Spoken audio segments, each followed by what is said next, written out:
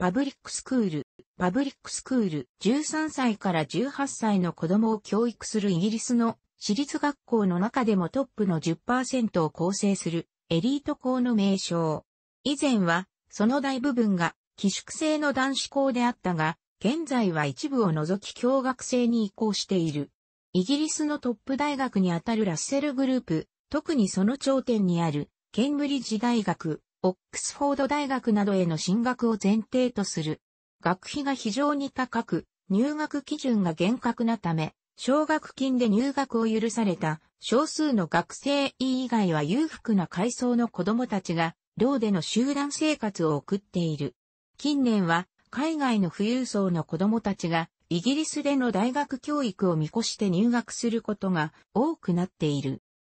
中世において学校とは地元の教会かギルドに付属しており、その目的は僧侶、見習い及び職人育成が目的とされており、入学資格も出身地、親の職業や宗派や身分などにより制限されていた。一方で貴族の階層の指定の教育は在宅での個人教授を主としていた。しかし近世になるとともに、貴族の身分に属さない富裕階層であるジェントルマンが勃興する中で、親の出生や身分に関係ない学校が必要となる。このような背景の中で、以前の学校と違い、一般、パブリックに開かれた、寄宿生の私立学校である、ウェストミンスター校、ウィンチェスター校、イートン校、ハーロー校、ラグビー校、マーチャント、テーラーズ校、セントポールズ校、シュルーズベリー校、チャーターハウス校などがパブリックスクールと俗称されようになる。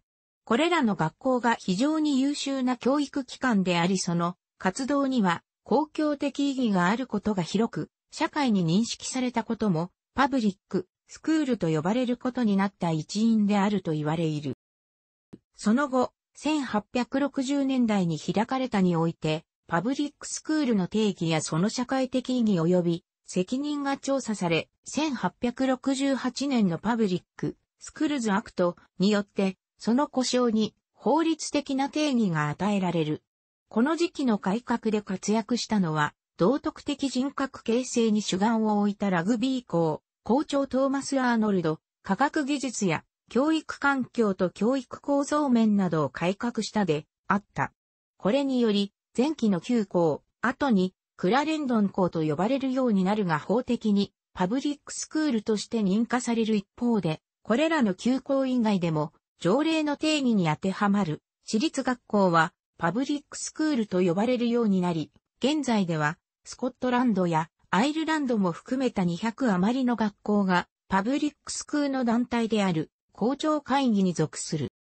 イギリスで一般に私立学校は国営でないという意味でインデペンデントスクールと呼ばれる。また中等教育と高等教育を専門とするパブリックスクールに対して12歳以下の初等教育を専門する私立学校はパブリックスクールに入学の準備をする学校という意味でプレパラトリースクール略してプレップスクールあえて日本語に訳せば予備学校と呼ばれる。これに対して公立学校は地元の生徒のみを受け入れるため state、公立、 school と呼ばれる。私立学校、 private school という表現が使われないのは、英語で、 private という表現は、営利という含意がある一方で、パブリックスクールを含むイギリスの independent、独立、非国営の学校は、すべて、非営利団体として登録されており、税上、私立、営利の企業と違い、課税の対象外であるからである。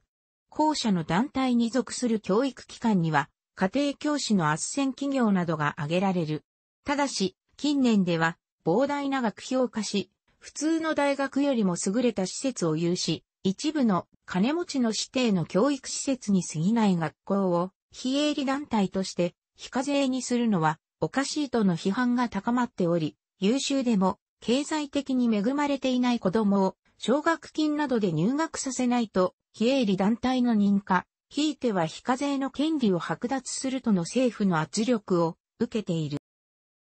ウェストミンスター校、ウィンチェスター校、イートン校、ハーロー校、ラグビー校、ラグビーフットボール発祥校の偽り、マーチャント、テーラーズ校、セントポールズ校、シュルーズベリー校、チャーターハウス校の9校が、 The Nine と呼ばれる代表的な名門校である。さらに新しい世代のものとしては、ゴードンストーン校、アトランティックカレッジなど、もともとは全寮制の男子単学であったが、ゴードンストーンなど、新しい世代のプログレッシブ、プログレッシブ、A と呼ばれる学校群が男女共学に踏み切ったため、徐々に女子も入学できるようになってきた。現在では、ウェストミンスターやラグビーなど、歴史的名門校でも共学化している。